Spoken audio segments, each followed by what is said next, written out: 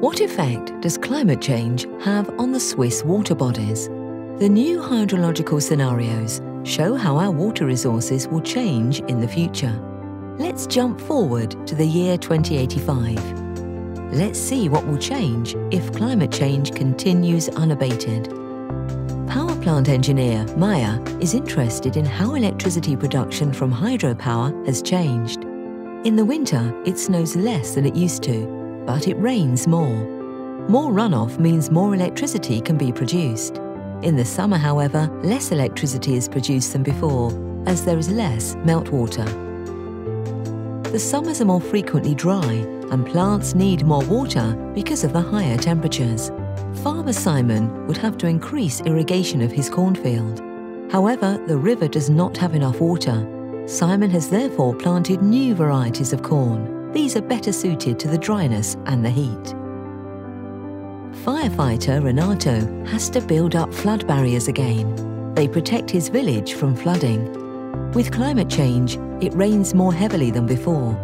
This is why there are also more floods and landslides.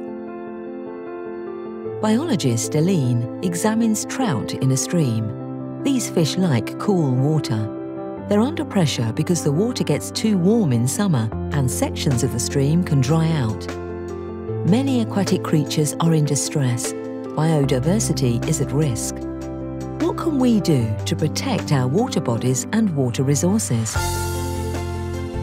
A rapid reduction in global greenhouse gas emissions is crucial.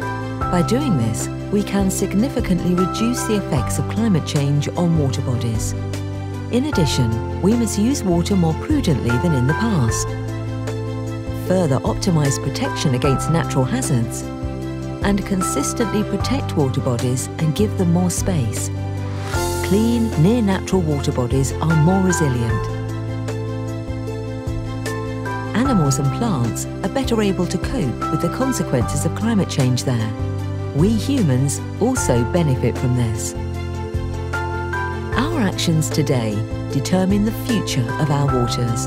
Find out more at nccs.admin.ch slash hydro underscore en.